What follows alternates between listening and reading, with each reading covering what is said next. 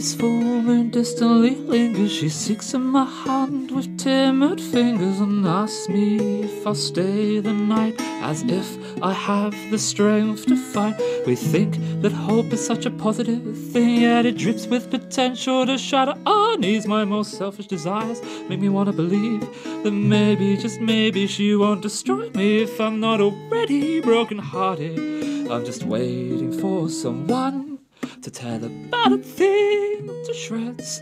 She will be the next one, so I pray that the sun doesn't rise to steal away this night.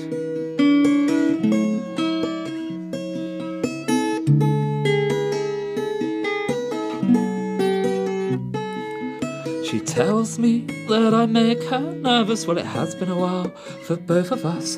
Like particles traveling at the speed of light, it's just a matter of time until we both collide. If I touch the stars, it will burn, but it's better than being anchored here on earth. And I let go and submit to the fate on the pavement below as we turn out the last lights and we close all the blinds. She pries oh, open a rabbit hole, and it leads to my demise. So I pray that the sun doesn't rise to steal away this night.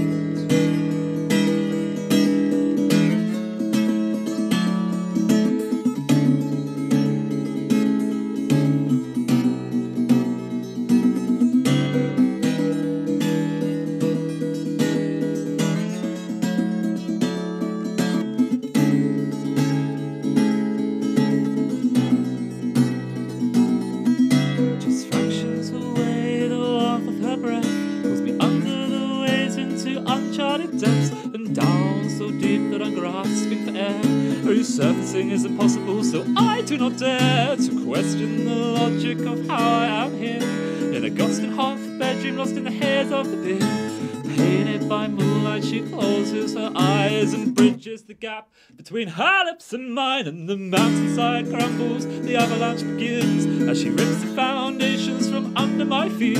This cozy empire I've built for myself against her deracination skills. And I know that it's fucking absurd, but I cannot diminish her place inside my universe. And I know that this is a war she will win that this is her turf. I'm the one breaking in. Ubiquitousness places its hands on my throat. Her omnipresence fills the city with smoke. I can only inhale her so much before I choke, before under the pressure my tired lungs explode. If I touch but it's better than being anchored here on earth. And I let go.